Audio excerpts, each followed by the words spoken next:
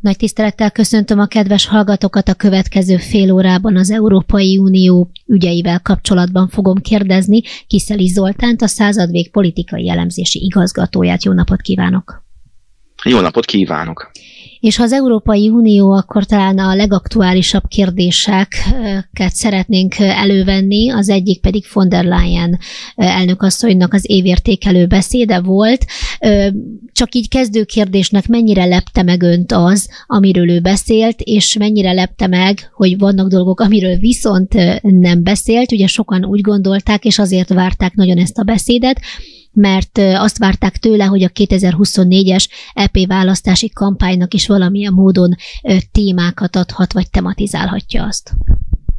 Igen, a, már tavaly, az tavalyi évértékelőn von der Leyen egy úgymond politikusabb beszédet mondott, pont azért, hogy a, a ciklusának az utolsó beszédét tehermentesítse, hogy ne egy kampánybeszéd legyen. Hát ilyen szempontból ez leginkább egy ilyen körsimogatás volt, hogy felsorolta azokat a témákat, amelyek aktuálisak, és minden fontosabb ország, pontosabban kormány és kormányfő irányába tette egy gesztust, pontosan azért, mert ugye az ő sorsa bizonytalan, jövő júniusban lesz az európai parlamenti választás, és jövő nyáron, 24 nyarán azt követően fog megalakulni az új Európai Bizottság, és hát von der Leyen jelezte, hogy szívesen folytatná még öt évig a bizottság élén a munkát, de ambicionálja a szintén jövő ősszel megüresedő NATO főtitkári pozíciót is. Tehát az, hogy most nem annyira a kampány témákra fókuszált, hanem sokkal inkább az uniós tagországok, főként a nagyobb tagországok, Németország, Franciaország és Olaszország kormányainak üzent, nekik kedvező megjegyzéseket tett, ezzel mind a két pozícióra kvázi bebiztosította magát, és hát miután tavaly már elmondta idézőjelben a kampánybeszédét, ezért ez a mostani beszéd sokkal inkább egy leltár volt, vagy egy termelési beszámoló, egy helyzetkép. Ugye beszélt a mezőgazdasággal kapcsolatban arról, hogy fontos lenne egy egységes álláspont, vagy figyelni azt, hogy az Unióban ez a terület hogyan fejlődik, és ebben egy konszenzusra jutni, összefogni. Viszont közben itt van ez a ukrán gabona import meghosszabbításáról szóló döntés, miszerint nem hosszabbították meg ezt a tilalmat, hogyan látja, hogy mit gondolnak akkor az Európai Unióban a mezőgazdaságról, a mezőgazdasággal kapcsolatos kérdésekről, mert lehet, hogy mondjuk egy nyugat-európai gazda sokkal inkább tudja az érdekeit érvényesíteni, de itt, minthogyha Közép-Európával kapcsolatban pedig elfeledkeznének ezekről az érdekekről, legalábbis a döntések szintjén. Hát von der Leyen kifejezetten annak az öt tagországnak ütött egyet oda, amelyek meg akarják hosszabbítani az ukrán gabona behozatalára vonatkozó tilalmat, tehát ennek a mondatnak az éle, az főként Lengyelország és Magyarország jelen irányul, de hát tudjuk, hogy Szlovákia és Románia is limitálja az ukrán búzának a beérkezést. Ha mezőgazdaságról beszélünk, akkor nagyjából négy pontot kell érintenünk. A legfontosabb, amiről von der Leyen nyilván nem beszélt, az a, a zöld fordulat. Ez azt jelenti, hogy a, a, Davoszi világgazdasági csúcs programja alapján, a Great Reset program alapján, ugye csökkenteni akarják ezek a globalista elitek a, a, az első világ, az Európa és az USA élelmiszer fogyasztását. Ez azt jelenti, hogy főként a, fú, a húsfogyasztást szeretnék csökkenteni. Ennek az az oka, hogy 8 milliárdan élünk a Földön, még nagyjából 10 milliárdig növekszik a, a Föld lakossága, utána kezd majd el csak csökkenni, és már most a termőföld felét világszerte takarmányozásra takarmány termelésére használják, tehát ezt, ezért akarják a húsfogyasztást csökkenteni, hogy a takarmányra használt földterület, szántóterület is csökkenjen, és azt az, az emberek élelmezésére lehessen használni. Tehát ez az első, magyarul amikor az a mezőgazdasági politika egységéről beszél, akkor erről is beszél, ezt is bele kell értenünk. Hát ez egyébként egy nagyon komoly koncentrációs folyamat keretében valósul meg. Ha megnézzük a hollandiai gazdatüntetéseket, hol már a rendőrök is rálőttek a, a, a holland gazdákra, azt látjuk, hogy bizony ezt a családi gazdaságok számának csökkentésével, az intenzív mezőgazdaság csökkentésével akarják elérni. Hollandiában egyébként a gazdáknak a pártja nagyon jól szerepelt a regionális választásokon, de nyilván nem akarják a, a, a családi gazdaságaikat feladni azért, mert hogy az intenzív mezőgazdaságot csökkentsék. Tehát az az egyik része, hogy, hogy a, a, a húsfogyasztást, az intenzív mezőgazdaságot csökkenteni akarják. A, a második rész nyilván, ami a, az ukrán megállapodásra vonatkozik, itt ugye, amit a, a globalista propagandában nem mondanak el, az két dolog, és ez ugye a második ilyen dolog, amiről beszélnünk kell, az az, hogy az eredeti megállapodásnak az volt a része, hogy az ukránok exportálhatnak gabonát Afrikába. Ugye az ukránok nem Afrikába, vagy csak minimálisan exportálnak Afrikába a gabonát, ugyanis az afrikaiak nem tudnak nekik fizetni. A takarmány nagy része ezért marad Európában, mert Európában ugye euróval fizetnek az ukránoknak, és utána az oroszok elfoglalták Ukrajnának a nehézipari központjait a Donbassban, ezért Ukrajna főként mezőgazdasági exportból tudja finanszírozni a gazdaságát, és hát ugye azt nem Afrikában kapják meg ezeket a, ezt a pénzt, hanem Európában, ezért jön Európába. Tehát amikor az Unió ugye azt mondja, hogy, hogy meg kell engedni az ukrán gabona exportját Európába, akkor ezzel azt is üzenik, hogy az ukránok pénzhez jussanak, devizához jussanak és finanszírozhassák a háborút. A mezőgazdaság kapcsán még a harmadik szempont az az amerikai és az európai együttműködés, tehát a globalista elitek, ugye már Ukrajnában is nagy részt amerikai tulajdonú cégek termelik a gabonát, és amerikai vetőmaggal, technológiával, akár GMO-val termelik a gabonát, tehát az amerikai-európai szabványoknak az összesítése is ide tartozik a mezőgazdasági politikához. És hát igen, ugye a negyedik pont, amiről von der Leyen szintén nem beszélt, hogy ahhoz, hogy Ukrajnát föl lehessen venni az Unióba, akárhogy is végződik a háború, nyilván a háború utáni időszakról beszélhetünk csak, de hogy Ukrajnát vagy mondjuk Moldovát, amely, amely szintén mezőgazdasági ország fölveszik az Unió Unióba, az csak akkor történhet meg, hogyha a mostani mezőgazdasági támogatásokat érdemben csökkentik, vagy átalakítják, például ugye a takarmányról, állattartásról a, a, az emberi fogyasztás szolgáló növényekre, vagy mondjuk a megújuló energiaforrásra. Tehát az a lényeg, hogy a mezőgazdasági politikának azért is kell egységesnek lennie. A von der Leyen ugye eddig vitte a mondatot, hogy a mezőgazdasági támogatások rendszerének a reformját is végre lehessen hajtani, hiszen Ukrajna olyan mezőgazdaság gazdasági ország, ami, hogyha mostani támogatásokat élvezné az esetleges tagsága után, az nagyon megnövelni a nettó befizetőknek a költségét, ami, amit ők nem akarnak. A második lehetőség ugye, hogy akkor a meglévő pénzt kell újraosztani, azt meg a gazdák nem akarják, tehát ez mind benne van ebben az egy mondatban. Na de nem beszélt még a jogállamiságról sem, sokan azt várták, hogy ezzel kapcsolatban is lesznek új fejlemények, de nem volt ez egy központi eleme ennek a beszédnek, illetve azt is felvetették, és a szemére vetették, hogy ugyanaz ukrán háborúról szó volt, de a békéről, a béke lehetőségeiről, a megoldásról, a háborúnak a végéről nem. Igen, ugye kezdjük a jogállamisággal. Ugye, ugye én a jogállamiságot úgy definiálom, hogy demokrácia emberek nélkül. Tehát ha megnézzük, az Unióban az európaiakat maximum arról kérdezték meg, hogy akarnak-e óra átállítást vagy nem, aztán mi lett a vége, a tagországokra bízták, hogy megtartják-e az óra átállítást vagy nem. Tehát igazából Brüsszel egy, egy felülről működő rendszer, nem érdekeltek abban, hogy az embereket bevonják, mert olyan érdeksérelmeket okoz ez a brüsszeli politika, főként ez a zöld átállás, ugye beszéltünk, hogy megvágítják a, a húst például, vagy a klímaadót vezetnek be, és a klímaadó autóval például. Ugye a közlekedést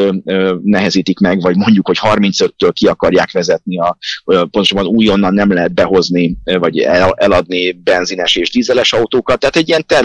tervutasításos rendszerré kezd hasonlítani az Unió, és a jogállamisági mechanizmus egy eszköz arra, hogy a szuverenista országokat, főként Lengyelországot és Magyarországot reméljük, hogy a szeptember 30-ai szlovákiai választás után már Szlovákiát is, amelyek, a, amelyek egy nemzetállamok Európa Európáját szeretnének, vagy inkább egy lassúbb integrációt szeretnének, tehát hogy ezeket a kormányokat csak ezzel az eszközzel tudják nyomás alatt tartani. Ugye itt a térségünkben a gazdaság működik, és erősödik, itt van még termelés, van energia, és ez azt jelenti, hogy előbb-utóbb nettó befizetők lennénk, és addig próbálják ezeket az országokat bepréselni a sorba, a többségi szavazást kierőszakolni, a migráns kvótát, a kötelező betelepítési kvótát, a, ilyen egyébként az, hogy Ukrajnát mindenki támogat, támogassa, mondjuk ezt a lengyelek megteszik, de Magyarország ugye csak humanitárius módon teszi, és a, a szlovák választások után, hogyha egy új kormány lesz, egy békepárti kormány, akkor ők is a magyar állásponthoz zárkóznak fel. Tehát Brüsszel a jogállamisági mechanizmus plusz a pénz visszatartását ö, zsarolási eszközként használja, mert vannak olyan kormányok, amelyeket nem tud fogni. Ugye Lengyelország és Magyarország nincsen benne az euró adósság zónába, tehát úgy az olaszok vagy a franciák annyira el vannak adósodva, és az ő állam kötvényeiknek az eladása az igazából az Európai Központi Banktól függ, az meg a németektől, hollandoktól függ. Tehát a déli országok már benne vannak a zsákban, amelyek bevezetik az eurót, azok már az euró adósságzóna részei lesznek, és nyomás alatt vannak. Ugye a lengyelek, magyarok, korábban Babis, Andrei Babis miniszterelnökségén a cseh, mi nem vagyunk az euró adósságzónában, minket ezzel nem tudnak zsarolni, hogy majd nem finanszírozzák a kötvényeinket, hogyha nem viselkedünk, mint az olaszoknál ezt láttuk, vagy a franciáknál. Tehát ilyen szempontból a jogállamisági mechanizmus tehát így érdemes nézni, hogy ez egy zsarolási eszköz, és von der Leyennek azért sem kellett erről beszélni, mert az sinem van. Tehát igazából ugye a lengyelek, magyarok azt mondják, hogy mi teljesítettük, amit a bizottság akar, mi arra hívjuk fel a figyelmet, és ez nagyon fontos, hogy ezt a jogállamisági mechanizmust azért hozták létre, hogy a, az uniós pénz korrupciómentes felhasználását biztosítsa. Ebben mindenki egyetértett. Orbán Viktor is azért írta alá, mert hogy ez az uniós pénzek korrupciómentes felhasználását biztosítsa. A magyar kormány ennek érdekében a kormány értelmezése szerint megtett minden elvárt lépést, például létrehozta az, integráció, az integritás hatóságot, amely például pont az uniós források felhasználásának korrupciómentes voltát biztosítsa. A lengyelek is ugyanezt mondják, mondják egyébként az igazságügyi reform kapcsán, hogy amit a bizottság kért tőlük, azt meg Brüsszelben, meg azt mondják, hogy nem. Tehát ugye először volt talán 7 mérföldkő, abból lett 27, a lengyeleknek már 110, tehát igazából ez az egyik része, hogy a jogállamisági mechanizmusnál a labda Brüsszelben pattog, novemberben fog a bizottság egyébként dönteni arról, hogy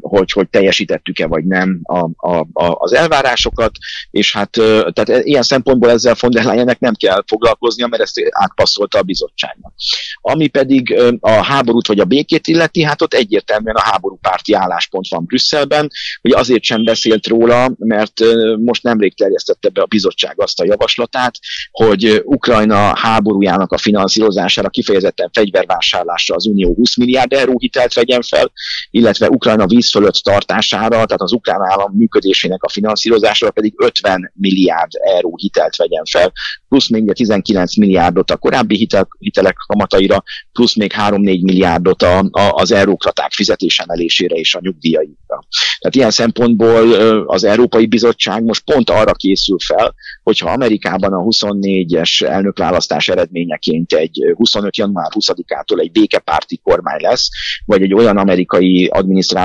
amelynek Ázsia Tájván, Kína fontosabb, mint Európa, akkor az Európai Unió úgy is tudja finanszírozni az ukrán háborút 24-től 27-ig, pont ezzel a most hitellel felvett pénzzel, hitelből felvett pénzzel, hogyha Amerika elfordul, vagy egy más adminisztráció lesz, akkor is a háború maradjon. Tehát ezért nem beszél békéről, mert von der Leyen egy háborúpárti álláspontot képvisel, a globalista háborúpárti eliteknek ő is a része, pláne ha NATO főtitkár akar lenni, akkor meg pláne a háborút kell támogatni, hiszen úgy tűnik, hogy a NATO-ban most az a szány van többségben, amely azt gondolja, hogy Ukrajnán keresztül lehet Oroszországot gyengíteni, és hát Oroszország gyengítése áttételesen gyengíti Kínát is, és hát most kell az, or- az ukránokon keresztül, az utolsó ukránig, ahogy mondani szoktuk, Oroszországot annyira meggyengíteni, hogy az esetleg Kínának ne tudjon segítséget nyújtani. Tehát pont ez, és ha von der Leyen NATO nem lesz, bocsánat, ha von der Leyen nem lesz az Unió következő bizottsági elnöke, akkor még mindig lehet NATO főtitkár, ahhoz meg ezt a háborúpárti politikát kell képviselnie, például keresztül kell vinnie ezt a 70 milliárdos hitelfelvételt Ukrajnának. Ugye ezt az évértékelőt sokan úgy is definiálták, hogy ez egyfajta ilyen kampánybeszéd is lehet pont ezen pozíciók miatt, amit ön is említett, és hát azt a kérdést akartam az előbb feltenni, hogy nekem ez a beszéd úgy tűnik, hogy azokhoz szól, akik egyébként is őt támogatják, illetve ezeket a nézeteket, ezeket az álláspontokat támogatják, és mintha nem annyira akarta volna megszólítani azokat, akik nem értettek vele valamiben egyet, vagy akikkel konfliktusa van. Viszont ilyen szempontból, amit ő most elmondott, teljesen érthető, hiszen itt akkor az eliteket kell meggyőznie. Hát ezért beszélünk a, a jogállamiság kapcsán arról, hogy ez demokrácia emberek nélkül.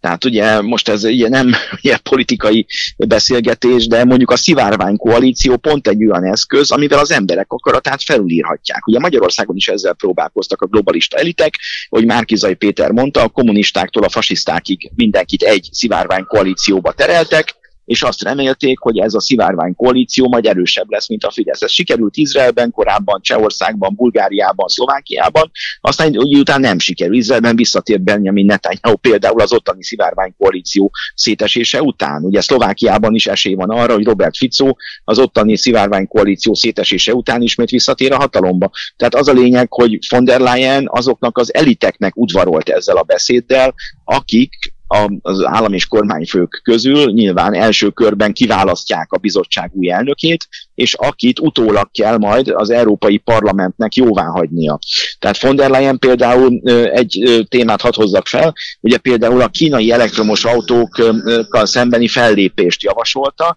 ami Macron francia elnöknek a, a, az óhaja, hiszen Franciaország az eurózóna egyértelmű vesztese, az euró a franciáknak túl erős, az olaszoknak, franciáknak túl erős, például a francia is, az, főként az olasz autógyártás, az, az megy le. Tehát nagyon, tehát Olaszország volt olyan időszak, mint 20 éve, hogy a 10 legnagyobb autógyártó között volt, most már rég nincsen, mert egyszerűen az olasz autók euróban olyan drágák, mint a német autók, és ha az ember választhat, akkor nem ugyanannyi pénzért, vagy közel ugyanannyi pénzért nem egy francia vagy egy olasz autót vesz, hanem egy németet. És ezért a franciák meg az olaszok nem tudnak az autóiparban már úgy versenyezni, mint mondjuk 20-30 éve ezt még megtehették. És ugye most megjön, bejönnek a kínai elektromos autók az európai piacra, azt látjuk, hogy még kevésbé tudják a Franciaországban vagy Olaszországban eladott autókat eladni, és az embereket ugye el kell bocsátani, a beszállítóknál elbocsátások lesznek, plusz Franciaország ugye visszaesik például az elektromos autók fejlesztésénél, hiszen ahol nincsen gyártás, ott kutatás fejlesztés sincsen, mert csak akkor lehet igazából fejleszteni,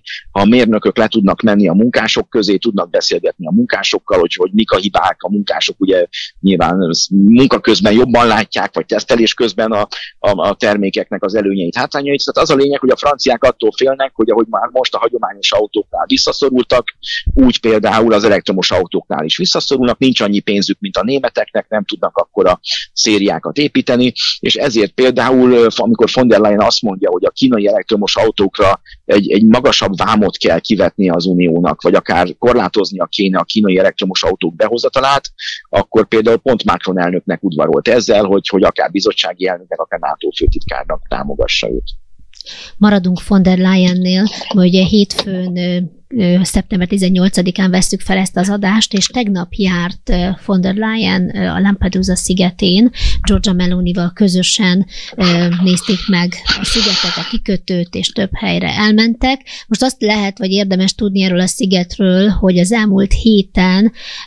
tízezer illegális migráns érkezett, és maga Lampedusa ez szigete pedig 6300 lakosú. Tehát, hogy a magánál a lakosságnál nagyobb számok érkeznek hetente, vagy legalábbis volt egy ilyen hét, és volt egy olyan nap, amikor 7000 ember érkezett meg 24 óra alatt, tehát brutális számokról beszélhetünk, és az ott lakók tiltakoztak is, tüntettek is,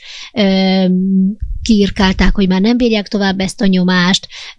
Hallottam olyan beszámolót is, aki azt mondta, hogy az elején még ő is nagyon nyitott volt, a menekültekkel kapcsolatban, de most már ezt, ezt nem bírják, tehát az utolsó csepp a pohárban is megtelt,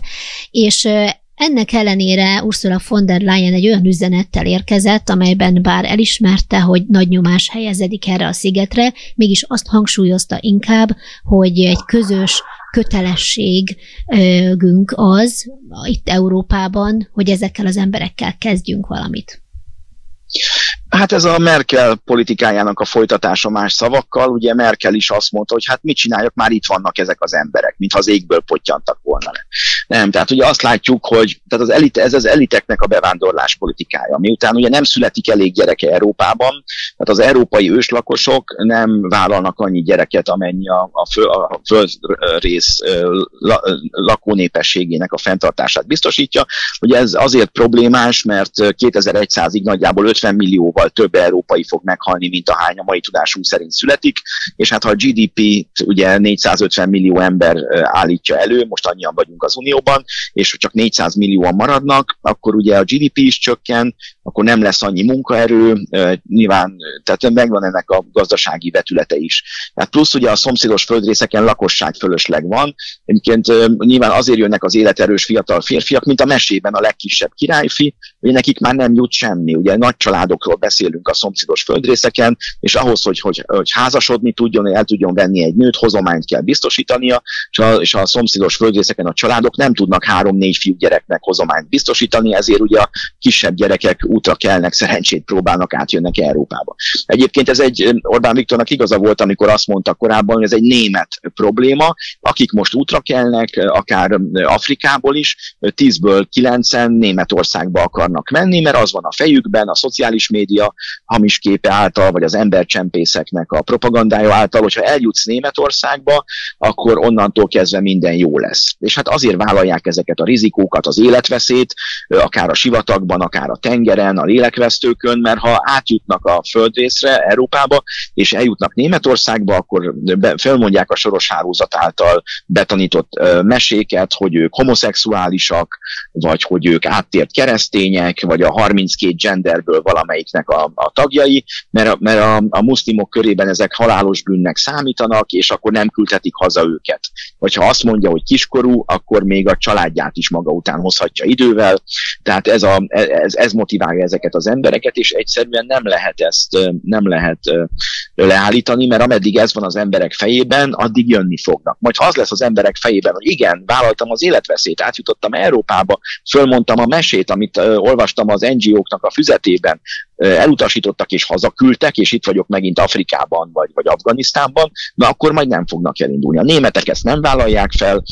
von der Leyen pont ezt a német politikát valósítja meg, amely a migráció kapcsán az, az integrációt akarja mélyíteni, és hát ugye a közös felelősség az a kötelező betelepítési kvótát jelenti, de igazából minden országban azt látjuk, hogy, hogy, hogy páros napokon keménykednek a határon, páratlan napokon meg azt mondják, hogy arra van Németország, arra tessék menni, és a migránsok Németországban kötnek ki, 400 ezer afgán van már Németországban, vagy egy példát hadd hozzak, tavaly, azt hiszem tavalyi évben volt, hogy csak Görögországból, tehát egy biztonságos uniós tagországból 40 ezer befogadott menedékkérő költözött át legálisan Görögországból repülővel Németországba, 40 ezeren, mert Görögországban ameddig valaki menedékkérő, addig teljes ellátást kap, amint megkapja a menekült státuszt, onnantól kezdve egy munkavállalási engedélyt adnak neki, hogy dolgozzon meg a megélhetésért, és egyszerűbb ezeknek a Görögországban már, be, már elismert menedékkérőknek átmenni Németországba, beadni egy második kérvényt, mert Németországban onnantól kezdve rögtön teljes ellátást kapnak továbbra is, és Görögországban nem küldhetik haza a németek a, a, a, akár a befogadott menekülteket, mert a német törvények és bírósági határozatok szerint Görögországban nincs esély egy, fér, egy fair eljárásra, és ezért ez a 40 ezer ember is ott maradt Németországban. Hát nyilván, amikor hallják a többiek ezt a történetet, akkor a többiek is azt mondják, hogy oké, okay, hogy, hogy itt véget ér a, a, a teljes ellátás, akkor inkább megyek Németországba. Ami a németek, amíg nem változnak, addig nyilván itt nem lesz változás, azzal hitegetik egyébként a, a, a, a frontországok lakóit, mint az olaszokat, a lampedúzaiakat, hogy, hogy a kvóta majd csökkenti a migránsok számát. Hát nem csökkenti, mert hiába viszik el ezt a 7000 embert, egyébként átviszik a, a szárazföldre, és ott eltűnnek. Tehát hiába rakják őket az első nap egy befogadó központba, éjszaka ugyanúgy kirajzanak, elszöknek, vagy nem mennek vissza, és ugyanúgy Nyugat-Európa felé mennek, ugye az afrikaiak inkább Angliába szeretnének menni, a többiek meg Németországba. És azt látjuk, hogy, hogy átviszik őket hajóval, de jön helyettem a jövő héten 20 ezer ember, amíg jó az időjárás, hogy, tehát igazából ez a probléma, hogy amíg az ösztönzőket nem kapcsolják ki, addig egyre többen fognak jönni. Az elitek ennek örülnek, mert nyilván idővel állampolgárságot akarnak adni ezeknek az embereknek, akkor már is ugye a bevándorláspárti erőkre szavaznak, vagy a baloldalra, mint a franciaországi migránsok. Tehát az eliteknek ez nem probléma. Ők nem ott laknak, ahol a migránsok laknak. Az, az ő gyerekeik nem olyan iskolába járnak, ahol a migránsok vannak már túlsúlyban, és nem franciául vagy németül beszélnek a szünetben, vagy a, az óra nagy részén, hanem már más nyelveken. Tehát igen, ez az eliteket nem érdekli. Az európaiakat meg azt mondják, hogy, az, hogy, hogy viseljék el. Nyilván, aki Németországban ez ellen felszól, az már rögtön náci, vagy idegen gyűlölő, vagy radikális, vagy szélső jobboldali,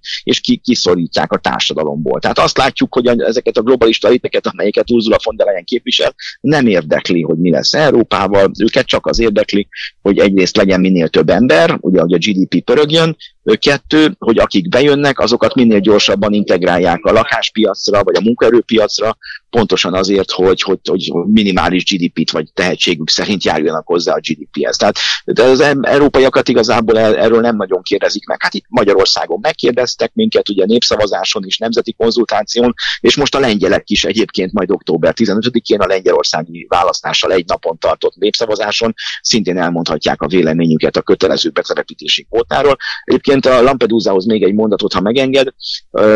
Silvio Berlusconi nemrég elhunyt olasz miniszterelnök egy választás előtt azt mondta, úgy, úgy, úgy oldotta meg ezt a problémát, hogy vett egy házat Lampedusán, és azt mondta, hogy mostantól én is Lampedusai vagyok, ez a, a ti problémátok az én problémám is. Hát meg is szavazták, a probléma maradt szegény Berlusconi időközben már elmúlt. A másik mondat talán, amit érdemes még a hallgatóknak elmondani, hogy Georgia Meloni miniszterelnök azt mondta, amikor itt von der Leyen-nel beszélgetett, hogy nem a kvóta a megoldás, hanem le kell zárnia az utánpótlás elől az utat. Egyébként az Unió felajánlott 900 millió eurót Tunéziának, hogy zárják le az utat, de hát nem sikerült úgy tűnik, és van még egy szempont, hogy például Nigerben, tehát ahol most nemrég pucs volt, és ugye ilyen polgárháborúszerű, polgárháborúszerű állapot volt, amíg mondjuk az európaiakkal együttműködő katonai rendszer volt, akkor nagyjából 50 ezer migránst engedtek át Nigerből Algéria felé, Tunézia felé. Ugye Niger az egy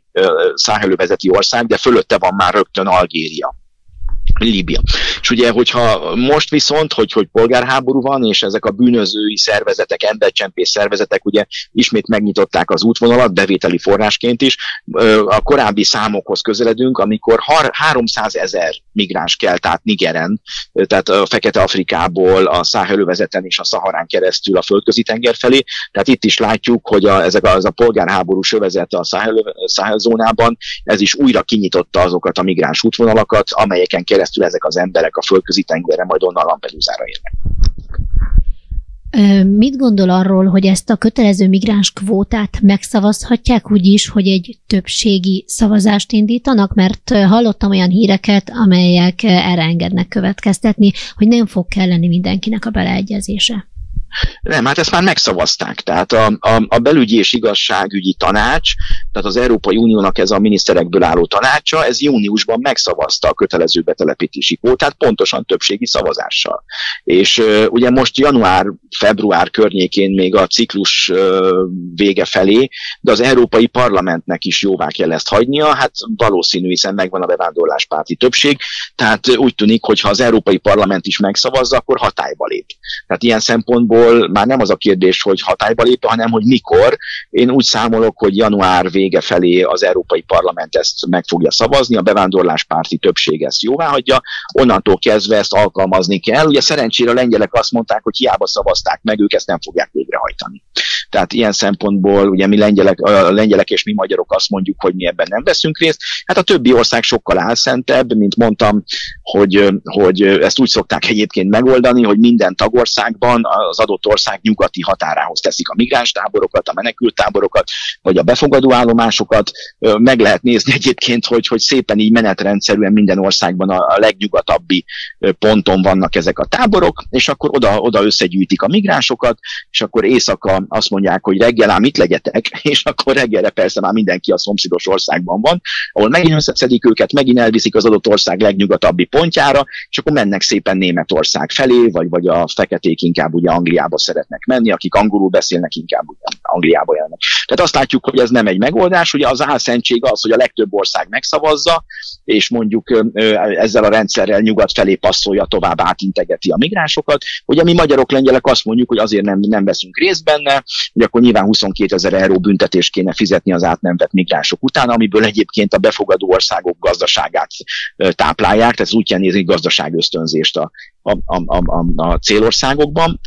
de a frontországokban és a tranzitországokban igazából ez a nyomás ez továbbra is fent van, fennmarad, de hát általában a migránsok tovább mennek nyugatra, vagy, vagy akár ilyen passzív módon segít is őket, hogy menjenek tovább. Igen, tehát ez, ez a kvóta ilyen szempontból sajnos, hogy elfogadásra kerül, a végrehajtása nem fog működni, a frontországok azt remélik, hogy a kvóta csökkenti a rájuk nehezedő nyomást, nem fogja, mert ugye, mint Lampedusa-nál láttuk, még többen fognak jönni, az átviszik őket a szárazföldre, onnantól kezdve elindulnak Németország felé. Ugye a németek meg azt remélik szegények, hogy majd a kvóta miatt majd jut a lengyeleknek, a litvánoknak, meg a románoknak is a migránsokból, de hát nem jut, mert a migránsok nem akarnak Litvániába menni, vagy Magyarországra jönni. Ők Németországba akarnak menni, ahol teljes ellátást kapnak, szociális utatásokat, meg még 500 euró zseppénzt is havonta, tehát ezért nem fognak ide jönni, és ezek a többi ország, a lengyeleken, magyarokon kívül megszavazza a kvótát abban a tudatban, hogy nem kell 22 ezer euró büntetést fizetni az átnevet migránsok után, legfeljebb majd szépen éjszaka átszöknek a migránsaik Németországba.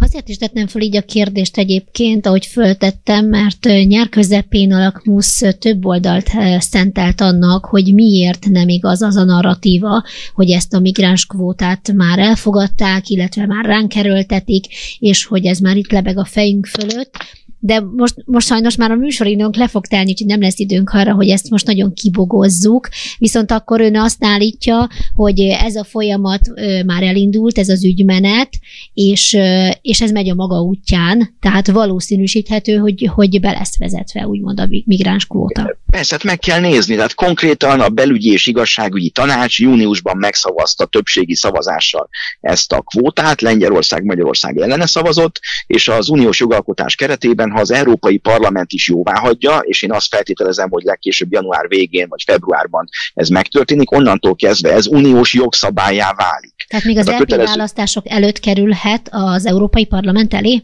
Hát na, na, hát különben nem, attól félnek, hogy ha megszűnik a bevándorláspárti többség, akkor ki fogja megszavazni majd jövőre. Plusz ugye, hogy, hogy most még megvan ez a többség. Igen, tehát ez, ez, ez uniós jogszabály szintjére fog emelkedni. A lengyelek már most mondták, hogy nem fogják ezt betartani. Ugye Lengyelország már most is napi 1 millió euró büntetést fizet egy bírósági határozat szerint egy másik kérdésben, hogy a lengyelek azt mondják, hogy vonjátok le abból a pénzből, amit nem adtok oda nekünk. Tehát igazából ez lesz, hogy azt a 22 ezer eurót, amit majd mondjuk nyár dollártól kiszabnak Lengyelországra, Magyarországra, hogy annyi büntetést kéne fizetni, mert azt mondjuk, vonjátok le abból a pénzből, amit nem adtok ide. De ezt a pénzt át fogják utalni egyébként a németeknek, vagy a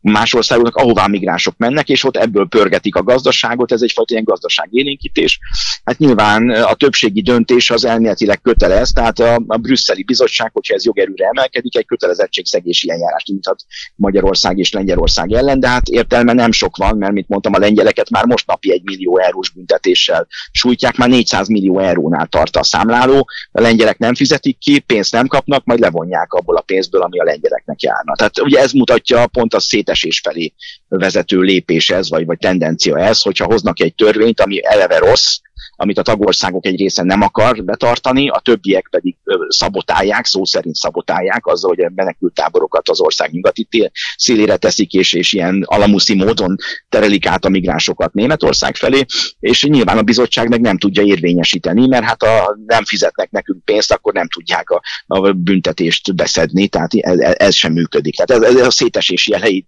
mutatja a migrációs politikában az Unió, de hát beszéltünk az, az euróadóságzónáról, beszéltünk beszéltünk egyébként a nyugati ipar hanyatlásáról, hogy a francia autóipartól, most a német autóipar is kezd hanyatlani, mert ők se bírják a konkurenciát. Tehát egy csomó olyan szempont van, amiről von der Leyen nem beszélt, amelyek egyébként sokkal fontosabbak annál, hogy az ő személyes karrierje